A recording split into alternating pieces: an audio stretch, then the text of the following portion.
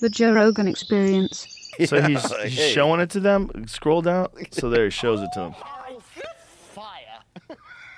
That's his hog. So now you Look no at longer her. have to compare it to these objects. He just showed him his cock. I think he's saying it's about as big as that thing. Yeah, but uh, that makes sense. 13 and a half inches. But who wants that? I just feel like if you had that much, I would just hate it. And say if you're walking to the restroom or something, if you have a cat, that cat's going to attack that bitch every time. Probably if you're naked. Not a, Dude, not a chance. It's a dangling little cat toy. Oh, dude.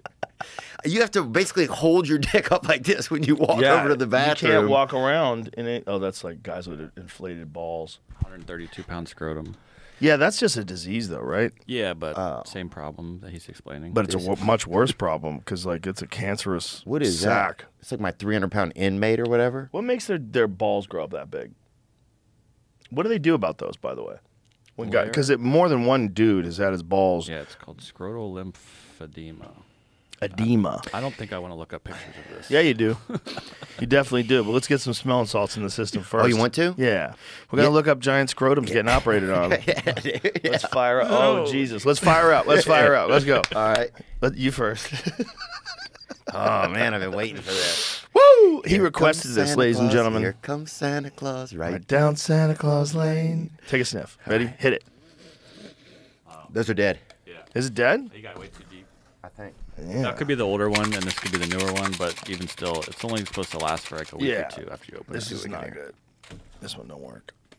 Time to order some. We should always have some on the hand. Oh, got him. Got him. Got him. Thought it was gonna be dead, and it wasn't. Woo! That must be our most recent one. Yeah. So let's chuck this one.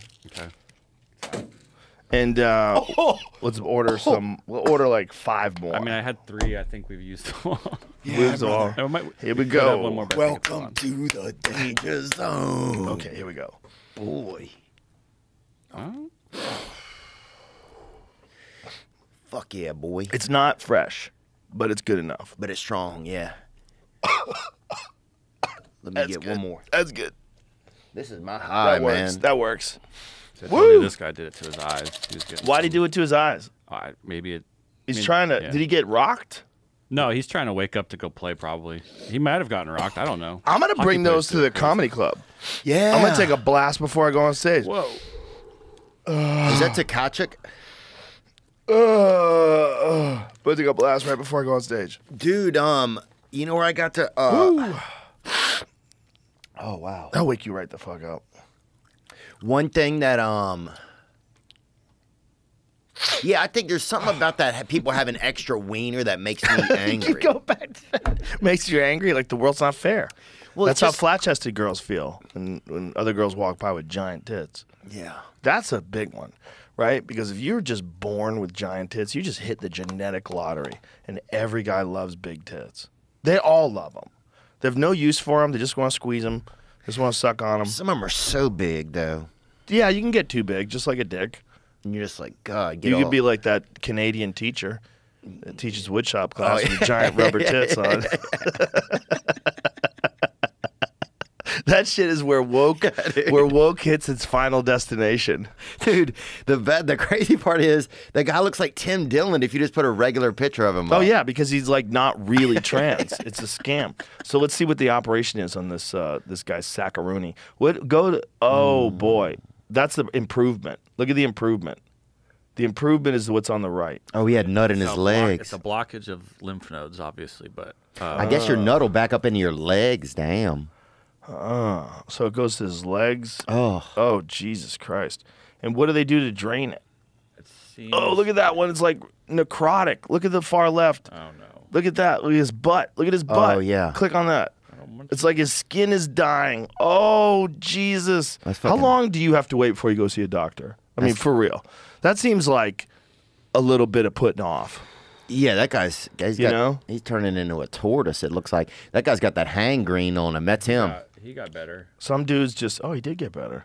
Look at him. Congratulations, sir. But imagine just bringing a bag in and people are like, "What's in the bag?" You're like, "My nuts are." But hold on. It looks like they stuffed his nuts up into his stomach. yeah. Look. Like in the left one, he doesn't have a big belly. In the right one, maybe as soon as he can get out, he just started eating like a pig. It's like, finally. Well, I'm sure once you can go out, you want to go enjoy yourself. You want to go to I guess.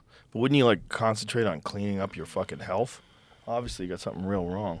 So what does it say here? This is how it started. Over the next nine months, every six days or so, he would experience what he felt like a sensational carpet burn in his groin, then severe cold and shaking, followed by his scrotum growing uncontrollably larger and larger. Mm. It got so bad one day that I stood in my living room and cried, he said.